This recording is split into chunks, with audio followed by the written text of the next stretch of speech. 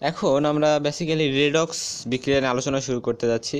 তো রেডক্স বিক্রিয়া বলতে কি বোঝায় সেটা আমরা সবাই জানি। রেডক্স মানে বোঝায় হচ্ছে জারণ বিজারণ। তো জারণ বিক্রিয়া কাকে বলে? যে বিক্রিয়া ইলেকট্রন দান করে, যে বিক্রিয়া সম্পূর্ণ হয় তাকে জারণ বিক্রিয়া, যে বিক্রিয়া ইলেকট্রন ত্যাগ করে সম্পূর্ণ হয় তাকে বলি আমরা বিজারণ বিক্রিয়া।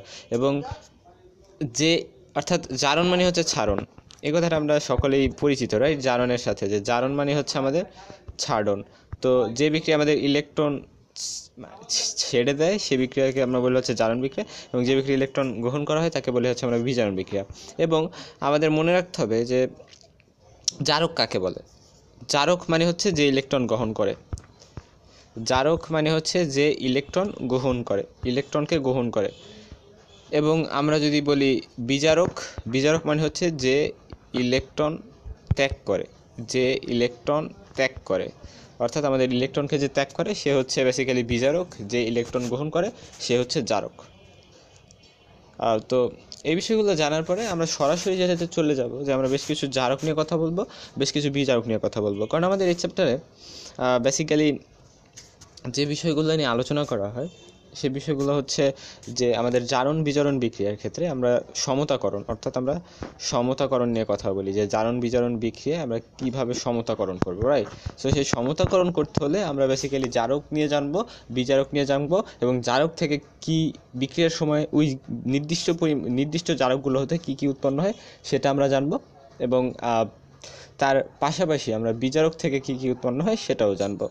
সো এগুলো জেনে পাশাপাশি আমরা যেটা জানব যে তুল্য সংখ্যা কি? আসলে ওই জারকগুলোর ক্ষেত্রে আমাদের তুল্য সংখ্যা কি? কারণ আমরা জারক বিচারকের ক্ষেত্রে জানি তুল্য সংখ্যা নির্ণয় করে কীভাবে আমাদের যতগুলো ইলেকট্রন ত্যাগ বা গ্রহণ করে, অর্থাৎ আমাদের যতগুলো ইলেকট্রন জারক গ্রহণ করে বা বিচারক যতগুলো ইলেকট্রন ত্যাগ করে বেসিক্যালি সেটা নিয়েই কিন্তু আমরা জানব এই ভিডিওটাতে। আমরা জানব বেসিক্যালি জারক নিয়ে। অর্থাৎ আমাদের এই ভিডিওটা আলোচনা হবে জারক নিয়ে। এই চ্যাপ্টারে আমাদের যতগুলো জারক সম্পর্কে আলোচনা করা আছে। তার মধ্যে উল্লেখযোগ্য হচ্ছে, খুবই গুরুত্বপূর্ণ হচ্ছে K M N O four. অর্থাৎ এটাকে কি বলে? এটার নাম কি? এটার নাম হচ্ছে পটাশিয়াম পারম্যাঙ্গানেট। এবং আমরা বেসিক্যালি অনেক সময় বলি K two M N O four. একে কি বলে? এটা হচ্ছে পটাশিয়াম ম্যাঙ্গানেট রাইট অর্থাৎ আমরা যখন কে এমএনও ফোর বলি, সেটা হচ্ছে পটাশিয়াম পারম্যাঙ্গানেট এবং যখন কে টু এমএনও ফোর বলি, সেটা হচ্ছে পটাশিয়াম পারম্যাঙ্গানেট সরি এটা হচ্ছে পটাশিয়াম ম্যাঙ্গানেট এবং এটা হচ্ছে পটাশিয়াম পারম্যাঙ্গানেট তো এখন আমরা বেসিক্যালি জানব যে potassium permanganate K M N O four যখন আমাদের এসিডিও মাধ্যমে থাকে এসিডিক মাধ্যমে থাকবে আসলে আমরা এই চ্যাপ্টারটা আমরা কিন্তু এসিডিও মাধ্যম নিয়েই বেসিক্যালি বেশি ব্যবহার করি। আমরা বেসিক মাধ্যম নিয়ে বেশি একটা কথা বলি না, আমরা এসিডিও মাধ্যমেই বেসিক্যালি কিন্তু বিক্রিয়াগুলো সম্পূর্ণ করার চেষ্টা করি। তো সেক্ষেত্রে আমরা এসিডিক নিয়ে কথা বলি। তো আমরা মনে রাখব যে K M N O four অর্থাৎ পটাশিয়াম পারম্যাঙ্গানেট বিক্রিয়ার সময় এম এন টু প্লাস গঠন করে। অর্থাৎ আমাদের K M N O four জারক থেকে আমাদের এম এন টু প্লাস গঠিত হয় M N two plus ion এখন আমরা যদি দেখি যে আমরা কীভাবে একটা বিক্রিয়ায় যে জারক বিজারক নির্ণয় করি, আসলে আমরা দেখি যে যখন আমাদের এই বিক্রিয়ায় এম এন এম এনের ক্ষেত্রে আমাদের যে জারণ মান, এর কেন্দ্রীয় মূল হচ্ছে এম এন অর্থাৎ ম্যাঙ্গানিজ ম্যাঙ্গানিজের জারণ মান কত? জারণ মান হচ্ছে প্লাস সেভেন রাইট সো ম্যাঙ্গানিজের জারণ মান প্লাস সেভেন কিন্তু আমরা এখানে গিয়ে দেখছি যে আমাদের জারণ মান কিন্তু হয়ে গেছে plus two right plus two হয়ে গেছে। অর্থাৎ এখানে ছিল প্লাস সেভেন এখানে হয়ে গেছে প্লাস টু এর মানে কি? আমাদের জারণমান হ্রাস পাইছে এবং যখন জারণমান হ্রাস পায়, তখন আমরা ধরে নেই যে এটা হচ্ছে আমাদের জারক। অর্থাৎ আমাদের জারণমান হ্রাস পায় যখন, সেটাকে আমরা বলি জারক। যেটা হতে আমাদের, অর্থাৎ এটার জারণমান একটা, জারকের জারণমান একটা, কিন্তু সেটা যেটা গঠন করতেছে, সেটার জারণমান হচ্ছে তার থেকে কম। তখন সেটাকে আমরা বলি হচ্ছে জারক। এটা আমরা জারক নির্ণয়ের ক্ষেত্রে বিক্রিয়ার সময় খুবই গুরুত্বপূর্ণ একটা ফিচার এখন আমরা এখান থেকে দেখতে পেলাম যে আমাদের জারণ মান এক্ষেত্রে ছিল সাত প্লাস সাত, এক্ষেত্রে গেল প্লাস টু তাহলে এক্ষেত্রে আমাদের বুঝতে হবে যেখানে কিন্তু আমাদের এই K M N O four পাঁচটা ইলেকট্রন গ্রহণ করে, পাঁচটা ইলেকট্রন গ্রহণ করার মাধ্যমে কিন্তু আমাদের এই এম এন টু প্লাস গঠন করছে।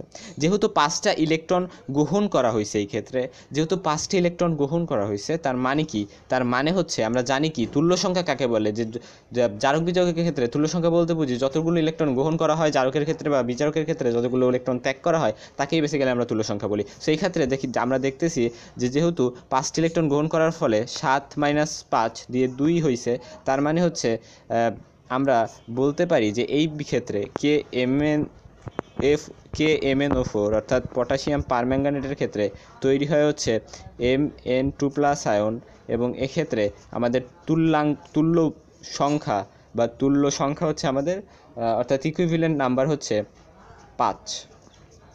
খুব ইম্পর্টেন্ট আমরা এগুলো কিন্তু মনে রাখব যে K M N O four acidic যে অবস্থায় অর্থাৎ আমরা কিন্তু বেসিক্যালি এই চাপ পুরো চ্যাপ্টারটা এসিডিক মিডিয়াম নিয়ে কথা বলব।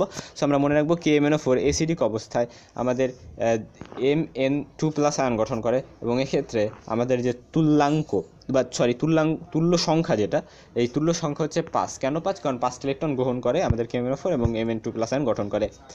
আমরা কে এম এন ও ফোরের পরে আমরা যে বিষয়টা নিয়ে আলোচনা করতে পারি, এগুলো আসলে খুব এটা খুবই গুরুত্বপূর্ণ যে K two C R two O seven আমরা যদি এটার এসিডিক মিডিয়ামে এটার কথা চিন্তা করি যে এসিডিক মিডিয়ামে এটার কি হবে, এটার অবস্থা কীরকম হবে, তাহলে আমরা খেয়াল করব যে এটার ক্ষেত্রে আমাদের এটা থেকে এটা থেকে আমাদের উৎপন্ন হবে, এটা থেকে আমাদের উৎপন্ন হবে two C R three three plus অর্থাৎ আমরা এখান থেকে দেখতে পেলাম যে এখানে দুইটা ক্রোমিয়াম আছে রাইট তো এই দুইটা ক্রোমিয়াম থেকে, দুইটা ক্রোমিয়াম থেকে আমরা যেহেতু এখানে আমাদের ক্রোমিক আয়ন পাইছি, এটাকে বলে ক্রোমিক আয়ন রাইট বা ক্রো ক্রোমিয়াম থ্রি প্লাস বা ক্রোমিক আয়ন। তো এই ক্রোমিক আয়নের আগে দুই দিছি এই কারণে, কারণ হচ্ছে আমাদের এখানে দুইটা ক্রোমিয়ামকে নির্দেশ করছিল।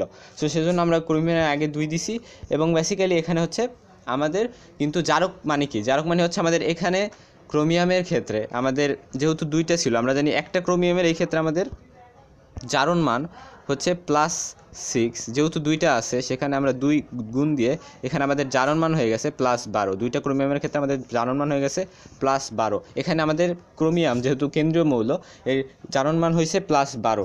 কিন্তু আমরা যখন এটা থেকে আমাদের এইটা উৎপন্ন হয়, এই ক্ষেত্রে আমরা দেখি যে ক্রোমিয়ামের জারণ মান হচ্ছে প্লাস ছয়। যেহেতু, কারণ হচ্ছে এই যে থ্রি এবং যেহেতু টু আছে সামনে, তার মানে প্লাস ছয়। যেহেতু প্লাস ছয়, আমাদের প্লাস বারো থেকে জারণমান হয়ে গেছে প্লাস ছয়। তার মানে কি নির্দেশ করে? তার মানে হচ্ছে আমাদের এটা একটা জারক। এবং এই জারকের আমাদের যেহেতু ছয়টা ইলেকট্রন গ্রহণ করছে, যেহেতু বারো আছে, প্লাস বারো প্লাস বারো কী করছে? জারণ মান যেহেতু প্লাস বারো, তার মানে কি? এখানে আমাদের ছয়টা ইলেকট্রন, আমাদের এটা ছয়টা ইলেকট্রন গ্রহণ করছে এবং প্লাস ছয় বানাইছে পর জারণমান সরি প্লাস ছয় বানাইছে হচ্ছে আমাদের জারণ মান এইটার ক্ষেত্রে। সো সেক্ষেত্রে আমরা বলব যে এক্ষেত্রে আমাদের যে ইকুইভ্যালেন্ট নাম্বার হবে, সেটা হবে কত? ছয়। অর্থাৎ আমরা যদি ইকুইভ্যালেন্ট নাম্বার হবে ছয়। সো আমরা যদি এটাকে একটু বিক্রিয়াটাকে ভালো করে লিখি যে আমরা বলতে পারি K two C R two অর্থাৎ potassium dichromate K two C R two O seven এই পটাশিয়াম ডাইক্রোমেট আমাদের এসি এসিডিক মিডিয়ামে এসিডিক মিডিয়ামে যেটা করে, এটা আমাদের, এটা থেকে আমরা পাবো হচ্ছে two CR three plus chromic ion এবং এখানে যে আমাদের তুল্যাঙ্ক বা সরি তুল্য সংখ্যা, তুল্যাঙ্ক না, তুল্য সংখ্যা সেটা হবে হচ্ছে ছয়। কেন ছয় হবে সেটা কিন্তু আমরা অলরেডি বুঝছি যে এখানে হচ্ছে আমাদের জারণ মান হচ্ছে প্লাস বারো এবং এক্ষেত্রে হচ্ছে প্লাস ছয়।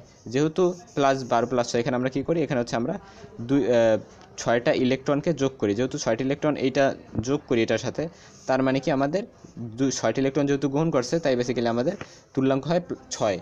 সো এখান থেকে আমরা জানলাম তুল্যাঙ্ক এটা থেকে কি উৎপন্ন হয় আমাদের বিক্রিয়ার সময় এবং তুল্যাঙ্ক কত সেটা জানলাম। এবং এটা যে কেন জারক সেটাও জানলাম। তো এটার পরে আমরা আরেকটা বিষয় নিয়ে জানব। সেটা কি? সেটা হচ্ছে K two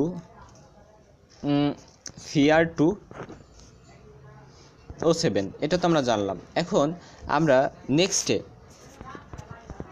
হ্যাল, হ্যালোজেন জাতীয় আর এক্স দ্বারা আমরা বোঝাচ্ছি ক্লোরিন, ব্লোরিন ক্লোরিন, ব্রোমিন, আয়োডিন এগুলাকে আমরা বোঝাচ্ছি, অর্থাৎ হ্যালোজেন।